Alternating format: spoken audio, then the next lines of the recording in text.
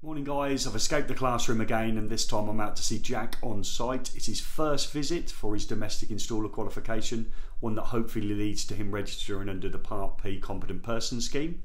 And as it's his first visit, I'm just going to see something simple. I think he's replacing an outside light. The first visit is all about uh, risk assessments, method statements, safe isolation, working safely on a pair of steps, communicating with the customer. Hopefully also we'll get to complete a minor works depending on the length of the visit. So we're off to see Jack on site and hopefully he's got some good evidence for that first visit for us today.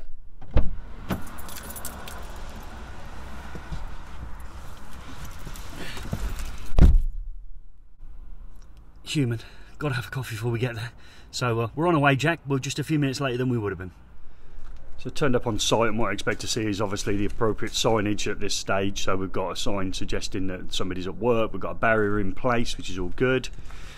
Come round. I've had a quick look already, so I sort of know what's going on. Got a ladder here working for a height, doing something with the outside light. It looks like we've got a conduit system maybe introducing some PVC singles because that's part of the qualification as well. So they're all playing the game. Extension ladder there, which is obviously longer for accessing the old lighting position.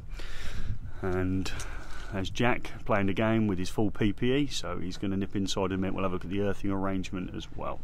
So let's have a look at the mains end. The supply authority only brings in line and neutral, and we have a TT earthing arrangement. We're reasonably remote here in this installation, we have kilowatt hour meter, time clock. Inserted within the tails we have a 100 milliamp RCD. Have a distribution board which is obviously protected by the 100 milliamp RCD. Half the circuits this side have additional protection by a RCD rate at 30 milliamps and that's for the socket outlet circuits. Jack's outside light comes via a fuse connection unit um, off the socket outlets so we'll be looking at it in a minute. The earthing conductor comes out here and goes outside and goes to an earth electrode. And Jack will be upgrading the bonding while he's with me as well. Whether I get that on video today or not, I don't know, but I'll be coming back to see the upgraded bonding as well. Let's go and have a look at the fuse connection unit next.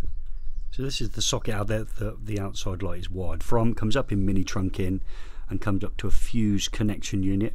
And you can see the actual fuse connection unit's been pulled and the fuse has been removed as well as well as isolation being performed actually within the consumer unit itself. We come up in trunking up in trunking and then Jack's got it coming outside in PVC conduit equally they've got to show me that they've got all the appropriate uh, paperwork so we've got sets of risk assessments down here uh, set of folders here with some more paperwork in. We've got a first aid kit, we've got an accident book, got the latest copy of the regulations currently at the 17th edition, pending the 18th at the moment.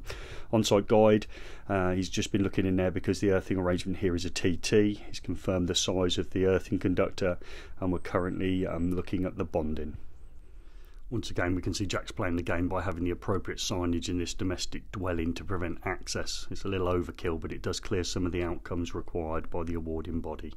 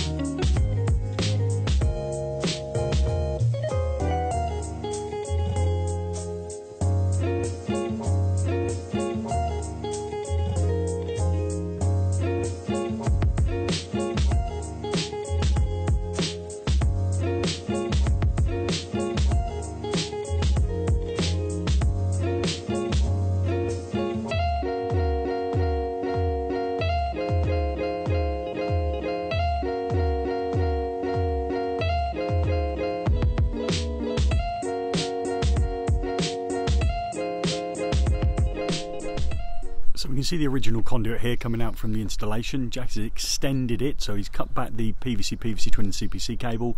He's put an inspection 90 degree on it and he's extended up in PVC singles now up to the new IP65 box and IP65 rated LED lamp.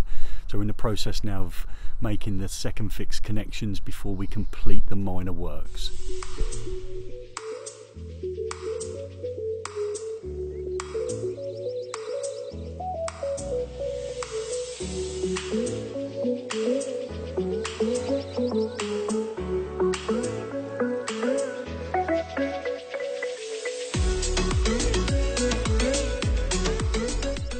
Limited space here with Jack, so we're going to now carry out off camera the insulation resistance test of the circuit that we've modified.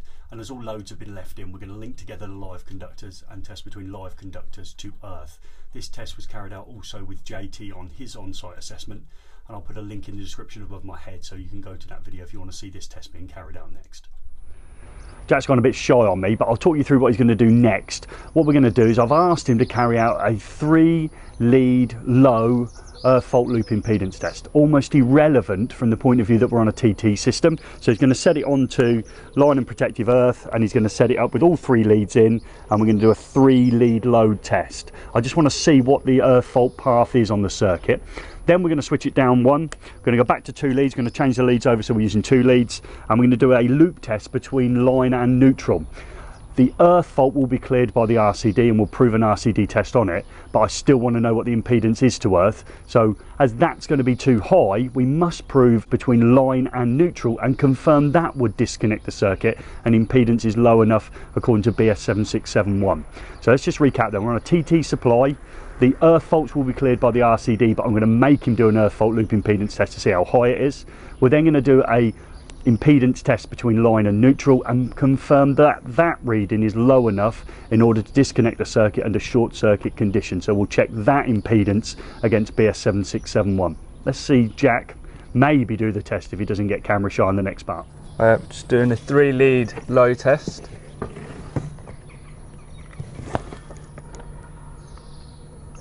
With a reading of 49.9 ohms. So I've removed my middle lead, so it's just line and neutral to do a two lead high test.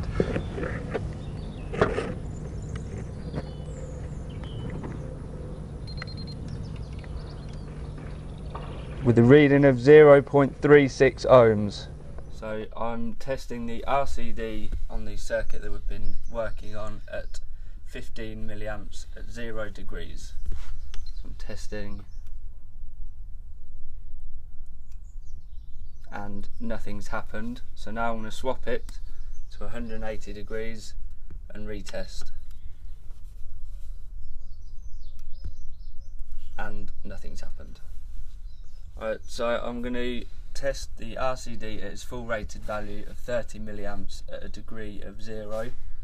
It should disconnect within 300 milliseconds and it has done it in 35.3. So I've just reset the RCD. I'm going to swap it now to 180 degrees and redo the test and then I'll record the highest of the readings but that one was 26.1. So now we're at five times its value at zero degrees again and hope for less than 40 milliseconds. It's 15.8.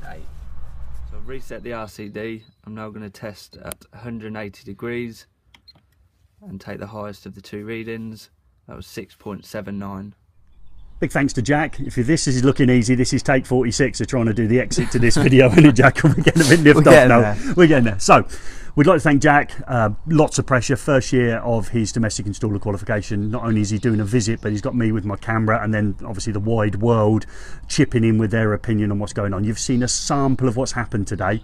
Jack's got some other bits to do when I've gone. Yeah, I'm going to upgrade the water and the oil bonding and fix an outside light. Yeah, and we found one or two accessories around the installation that also need repairing, so we're going to do that as well.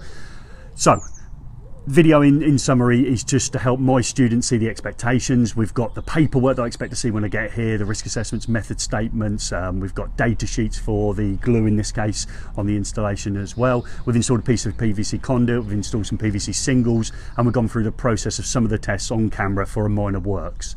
So, what do you reckon? We hope this video Has been, been some help. Oh my God, I think we've done it.